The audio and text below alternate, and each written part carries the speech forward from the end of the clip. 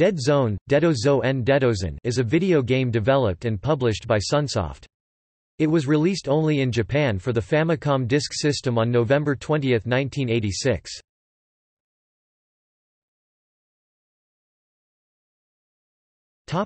Plot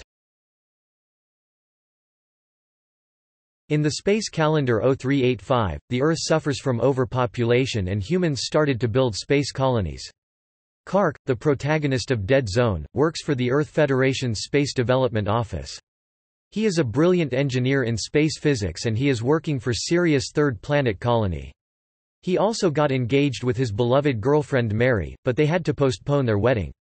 Five months later, Kark, accompanied with his robot Carrie, decides to meet Mary at last, and prepare the ceremony. But when he arrives at the space station, everything is quiet. Then a beam of light hits him. He wakes up sometimes later, inside a sort of underground graveyard, pieces of dismantled robots surrounding him, including Lionex Rayonekusu from Sunsoft's unreleased Nintendo vs. series title of the same name.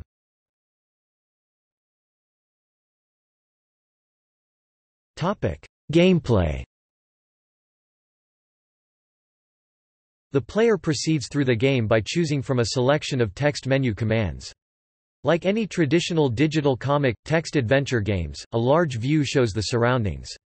The bottom of the screen proposes simple action commands, like see, take or push, however, the game is entirely in Japanese although it uses katakana exclusively. One of the original features of the game is to use real sampled sound in some places, which is very unusual for the time.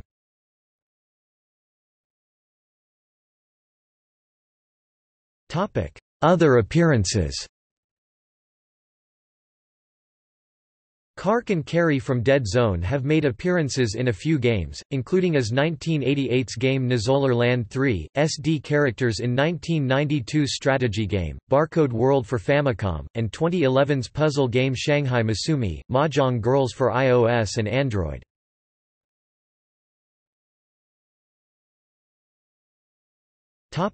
External links Dead Zone at MobyGames